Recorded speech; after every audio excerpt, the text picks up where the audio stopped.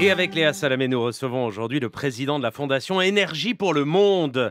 Question réaction 01 45 24 7000 et sur l'application de France Inter. Jean-Louis Borloo, bonjour. Bonjour. Bonjour. Et bienvenue à ce micro. On est très heureux de vous entendre ce matin car votre parole est rare. On ne va pas refaire le CV, mais tout de même, vous avez été maire de Valenciennes, ministre de la Ville, de l'Emploi, du Travail, du Logement, de l'Économie, des Finances, de l'Écologie.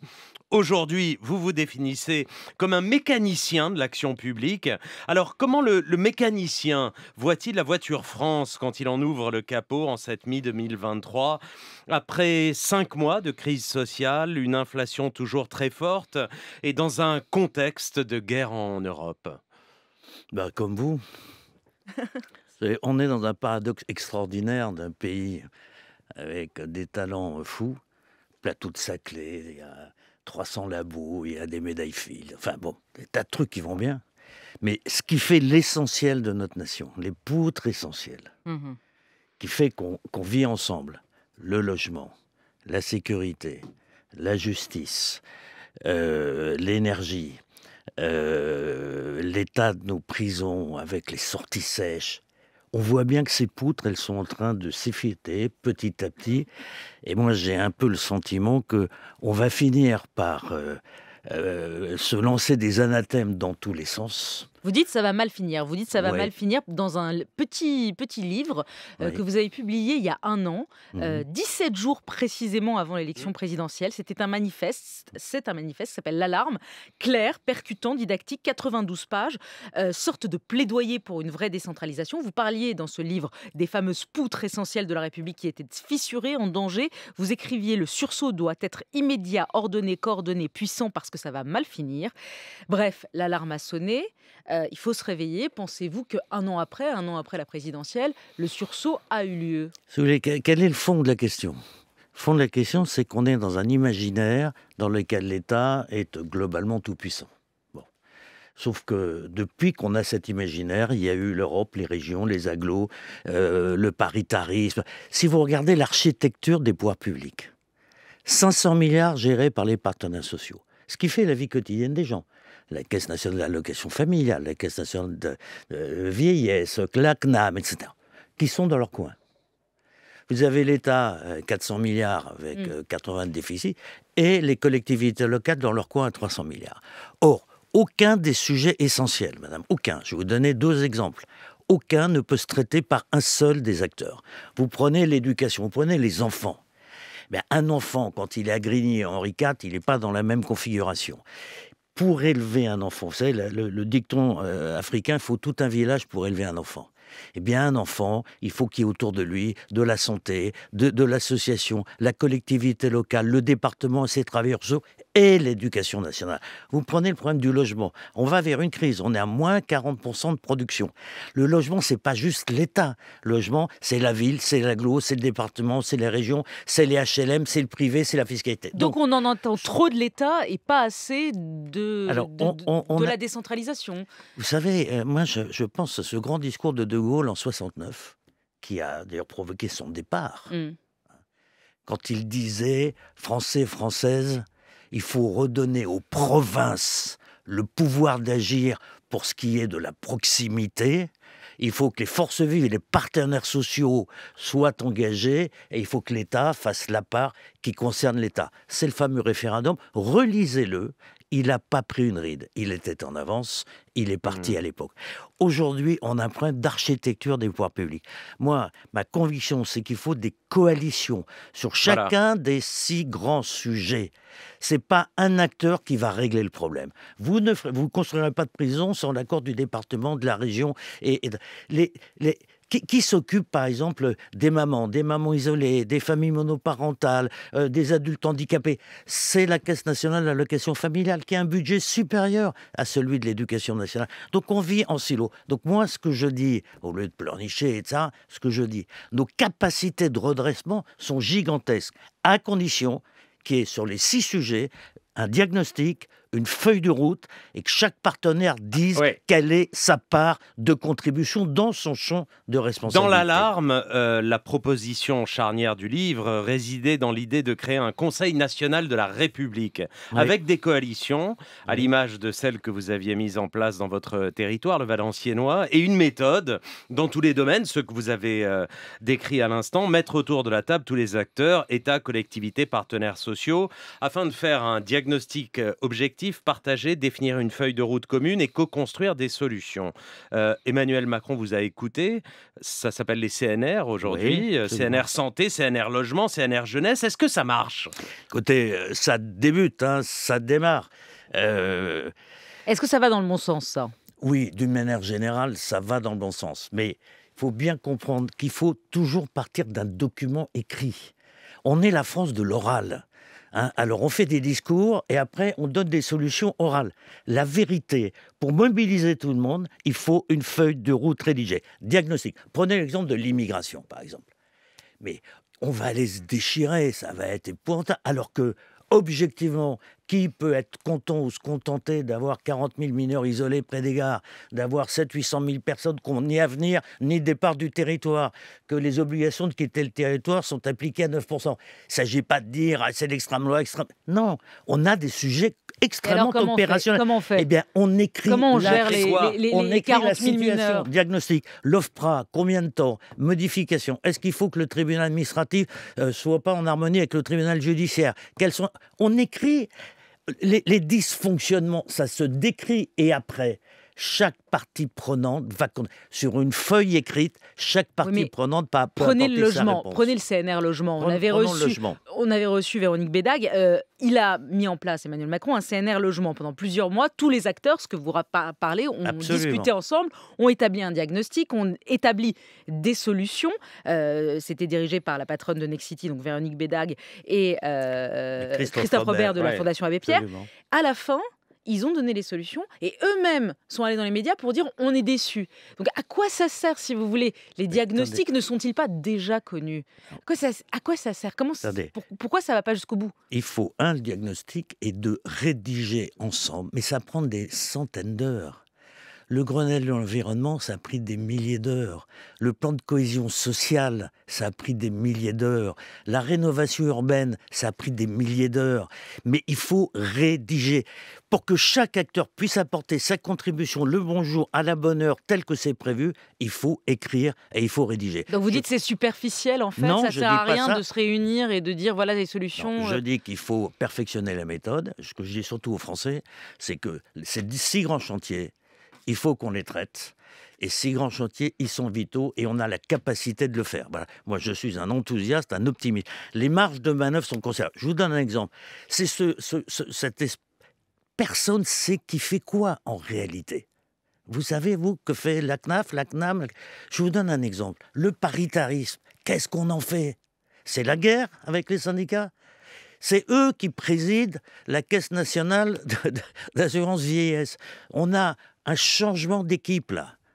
Euh, Sylvie Binet qui arrive, il va y avoir un nouveau patron du Sophie. MEDEF, il va y, il y a Marie, ma- euh, pardon, Marie-Lise Ma- Léon, oui, Binet. Bon, c'est quoi la place du paritarisme? On- Il continue à gérer 500 milliards, mais en fait c'est l'État qui décide et qui nomme les gens? Quelle est, dans notre société moderne, la place moderne du paritarisme français? Voilà. Donc je pense qu'on a un problème d'architecture. On a des dirigeants global- globalement engagés, euh, euh, plutôt inquiets, qui essaient de bien faire. On a un pays intelligent et on a quand même des résultats qui ne sont pas très très bons. Est-ce qu'on peut se poser juste la question de notre architecture de l'action publique? Comment on fonctionne? Mais regardez, Sinon, appliquez-le à la réforme des retraites, parce voilà. que c'est ça qui s'est passé pendant cinq mois. Ben- Qu'est- Qu'est-ce qui a raté à, vo- à vos yeux, puisque vous avez été critique de, de- de- de cette Non, mais réforme et, la- de la, et de la méthode? Qu'il faille globalement euh, allonger la durée de cotisation ou de travail, je veux dire, ça me paraît tout à fait raisonnable. On a des partenaires sociaux, il faut qu'on se mette d'accord sur l'objectif et puis voir les moyens d'y arriver. Pourquoi il y a de la tension aujourd'hui? Parce que, vous savez, on dit toujours, il pleut toujours ou c'est mouillé. Donc quand vous êtes une famille et que euh, la gamine s'est fait bousculer à la gare de Lisieux, euh, que le passeport faut six mois, euh, que le service public, vous avez l'impression à l'hôpital, regardez, c'est passé au CHU de Grenoble, vous avez le sentiment, alors que vous avez fait le Covid, vous étiez en première ligne, c'est pour vous que les services publics sont, sont plus importants. Pardon, c'est ni pour vous ni pour moi. Hein. Hein, c'est pour les gens qui en ont vraiment besoin.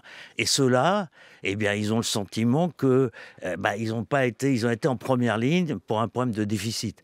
Je veux dire, il faut qu'on apprenne à dialoguer et à trouver des solutions. Moi, je suis convaincu, on aurait pu faire du Touraine amélioré, on aurait pu faire des tas de choses. mais, on était parti, vouloir, non? Non, mais on était parti, pardon, sur un système qui était le, le, système à points, euh, qui était progressiste, où il y avait des partenaires sociaux. Bref, maintenant, c'est derrière nous oui, mais d'accord, Maintenant... sur le fond, il décide 64 ans. À un moment, il prend la décision, il dit ce sera 64 ans. Mmh. Et que les syndicats suivent ou pas, ce sera 64 ans. À la fin, bah, c'est 64 ans. D'une certaine manière, il, y est arrivé. Et non, mais vous voulez ça enfin, Non, la question, c'est de savoir. Euh, au fond, c'est aussi ça de gouverner, c'est de décider et d'appliquer, d'utiliser euh, euh, au Parlement tous les biais possibles, 49.3, 47 Mais moi, je ne critique pas le processus tel qu'il a été fait. Ce que je veux vous dire, madame, simplement, c'est que vous pouvez faire ça, mais si en même temps, l'ensemble des services publics, la politique du logement, énergétique, le système judiciaire, la sécurité dans la rue, le contrôle du peuplement, quand même, je veux dire, on a quand même le droit de contrôler notre peuplement. Moi, je veux dire, je ne comprends pas une seconde que personne à gauche ou à droite se satisfait de la situation actuelle. Simplement, où on traite le problème méthodiquement et méthodologiquement, ou on va partir sur un truc inflammable qui me paraît extrêmement dangereux. Et là, le projet de loi immigration qui arrive alors euh, oui, je pense qu'il faut, il faut, rédiger d'abord le diagnostic et ensuite faire les propositions.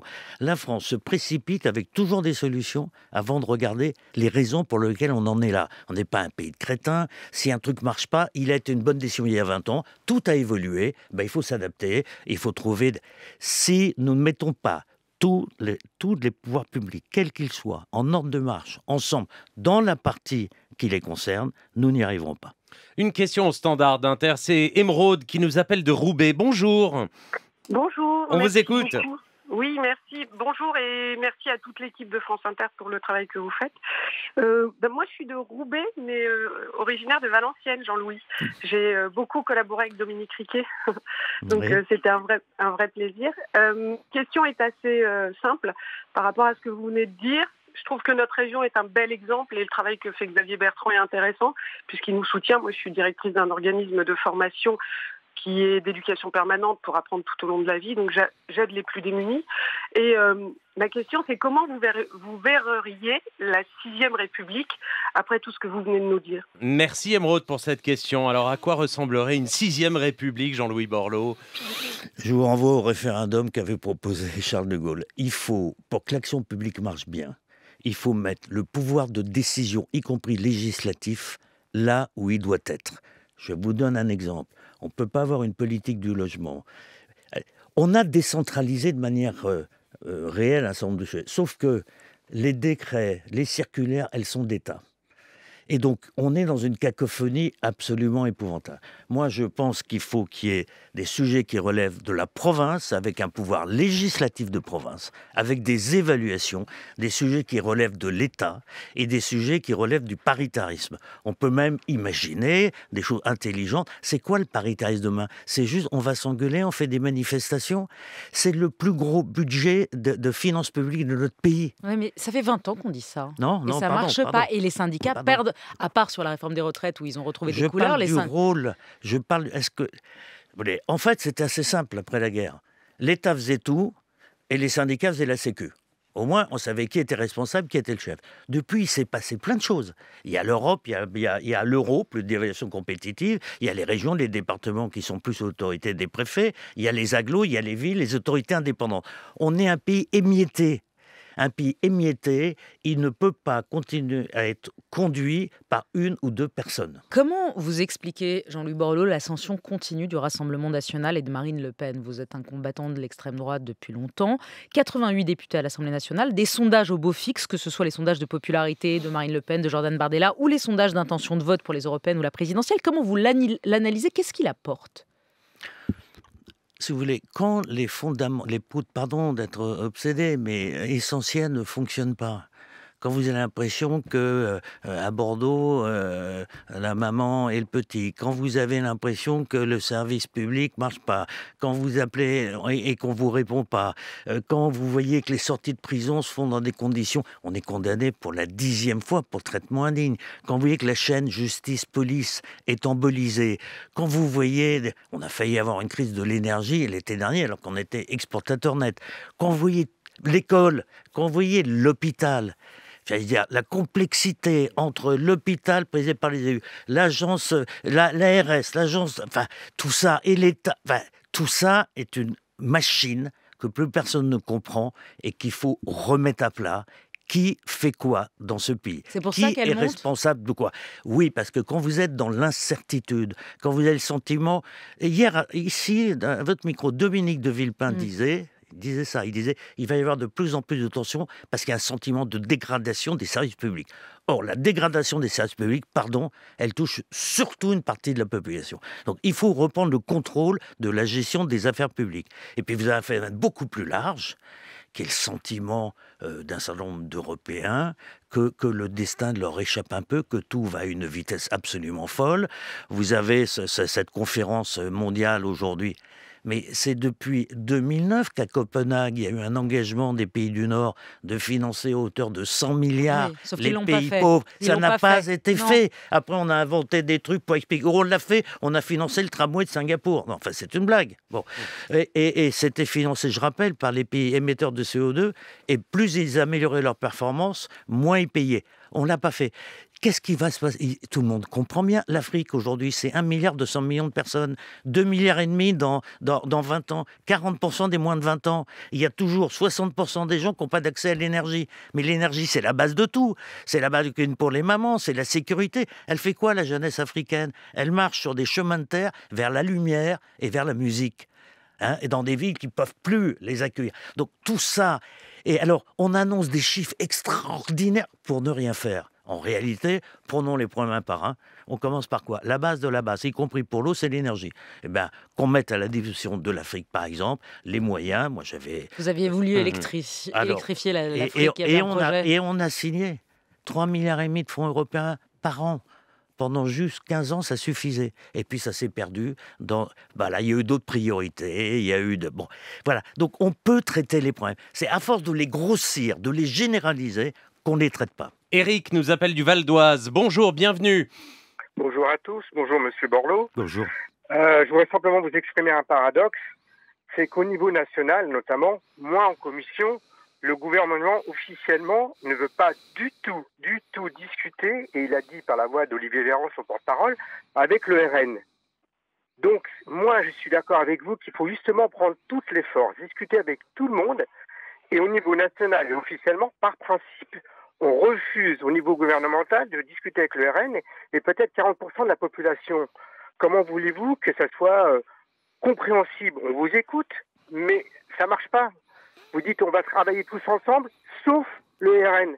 Est-ce que ça a du sens? Merci Eric. Vous êtes, vous êtes, vous êtes militant Rassemblement National ou vous, êtes... Euh... J'y vais de plus en plus parce que j'en ai marre. Mhm. Parce qu'il y a des choses qui sont... Euh, c'est pour ça que vous, entendez mon ton qui est un peu élevé parce que je pars vers ce, ce, parti parce que euh, par principe on le refuse alors qu'il y a des choses qui sont intelligentes et je me dis mais quel est ce racisme? Mhm. Ça n'a pas de sens, je n'ai pas écouté des gens par principe. Mhm. Merci Eric pour cette question. Jean-Louis Borloo vous répond. Si vous voulez, moi je ne suis pas dans le, champ euh, de, la politique.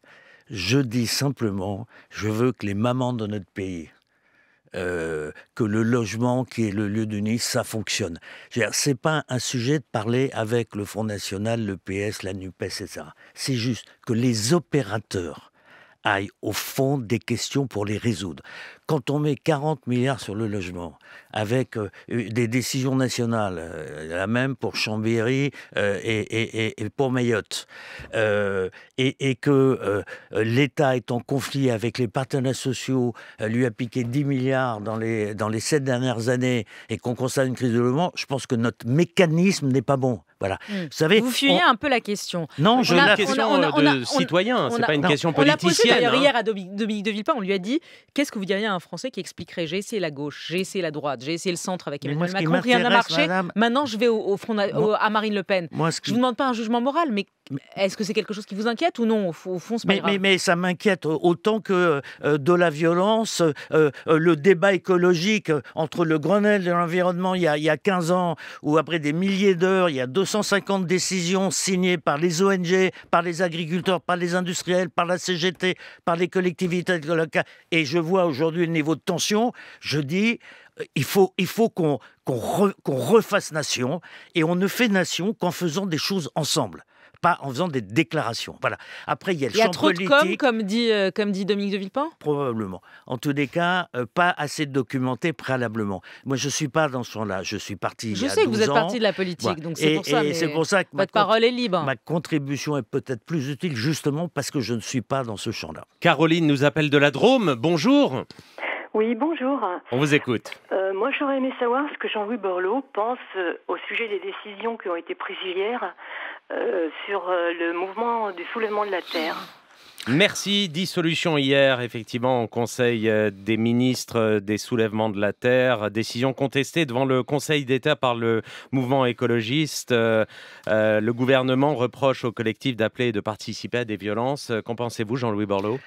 Tout ça, tout ça me navre. Enfin, que dans ce pays enfin, où tout le monde a à peu près la même conscience sur le problème de l'eau, sur le problème du dérèglement climatique, euh, sur les problèmes migratoires, les réfugiés climatiques, qu'on n'arrive pas on peut ne pas être d'accord sur 20% des sujets, mais je vous jure que vous réunissez tout le monde, 80% des points, il y aura des chemins et des points d'accord. Nous, exacerbons le malentendu par impuissance. Voilà. J'ai le sentiment que notre impuissance apparente, parce qu'on sait résoudre un certain nombre de problèmes, notre impuissance apparente amène à, des, oui, à de la tension dans tous les domaines.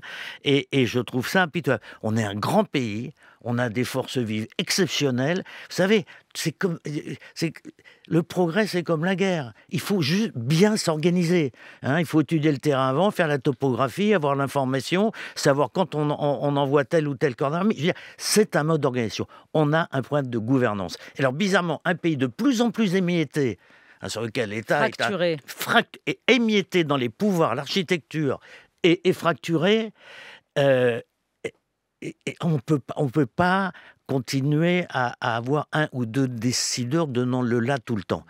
Quant à la conférence euh, de ce matin initiée par la France, je trouve que c'est une bonne chose. Hmm. Voilà. Alors, vous avez arrêté la politique il y a 11 ans, vous vous êtes retiré totalement. Ça va peut-être pas vous plaire, mais on a un tsunami tsunami hein, de réactions sur, euh, sur euh, les réseaux et sur la plateforme France Inter pour dire Borloo à Matignon. Non mais attendez, moi je suis parti, ça va. Non mais je, vous les livre, je vous les livre. Non, non mais ça me touche beaucoup. Mais vous savez, euh, voilà, j'étais heureux de faire Valenciennes. Vraiment, c'était dur, mais j'ai trouvé tellement d'affection. J'étais très heureux d'être euh, ministre de tout ce que vous avez raconté. J'étais très heureux de m'occuper d'Afrique. Aujourd'hui, je fais d'autres choses. Hmm. Mais si je peux. Mais si on vous appelait, on non, vous non, non, la question ne se pose pas. Non, non, non, la question est non. Je ne vais pas tourner autour du pot. En revanche, si je peux continuer, mais je ne peux pas le faire seul. Moi, je, veux bien, je vais essayer de refaire une proposition de diagnostic et de solution. Mais vous l'avez envoyé l'alarme à Emmanuel Macron. Mais pas qu'à Emmanuel, à Dominique de Villepin, à Thierry Breton, parce que ce n'est pas une note pour. Attendez, écoutez-moi, écoutez-moi, je vous supplie. Je ne peux pas le faire tout seul, tout ça. Je veux bien qu'on soit pas d'accord avec 20-30%. Je prétends pas que j'ai la solution. Et en plus, je l'ai pas moi tout seul. Mais on a besoin qu'un certain nombre de Français, des maires, des syndicalistes, des artisans, des entrepreneurs, des élus, disent attendez, on va changer le modèle, on va redéfinir le récit national, on va le faire en fraternité, et au moins il y a 80% des objectifs qu'on partage. Mais j'aurais besoin à ce moment-là d'un soutien populaire. Mais vous êtes optimiste? Je suis très. Vous savez. Vous êtes très très pessimiste. Je suis très optimiste si on prend les moyens. Voilà. Mmh. On a de telles marges de, de progression. Tellement. Je vous donne un exemple. Il y, a, il y, a, 20 ans, on produisait 250 000 logements. On est passé avec le même outil à 500 000. On retombe à 250 000. Donc on a un problème d'organisation. Donc je suis. C'est pas parce qu'il y a une difficulté. Si elle est identifiée, c'est que vous avez des marges de manœuvre considérables. Et quand je vois ce pays, je me dis, on a des manœuvres, des forces, des, des marges de manœuvre considérables. Merci Jean-Louis Borloo. Merci Jean-Louis Borloo.